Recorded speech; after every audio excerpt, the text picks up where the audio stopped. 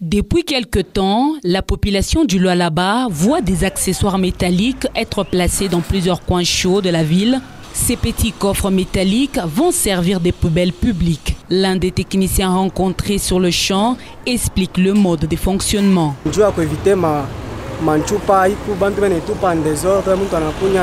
Il dit, pour éviter les bouteilles qu'on jette en désordre, c'est pour cela qu'on a pensé amener ces poubelles pour éviter l'insalubrité dans la province du Lualaba. Et dans ces poubelles, on y jette quelque chose léger. Et il y aura un service habilité qui passera chaque jour pour enlever ces déchets. Malgré ces poubelles sont petites, mais on a déjà placé sur beaucoup d'endroits pour que le saleté ne soit plus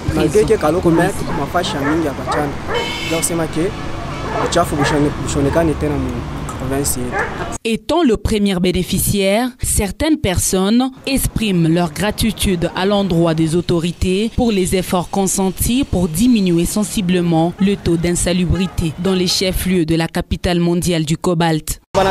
Ils ont fait une bonne chose. Maintenant, si je prends une boisson, je vais toujours jeter dans cette poubelle. On ne verra plus de saleté ici.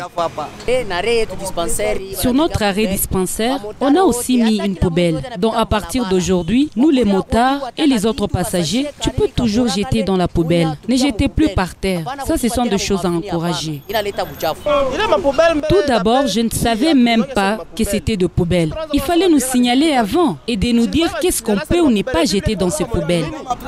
En entendant, la population n'attend que l'inauguration de ces poubelles publiques.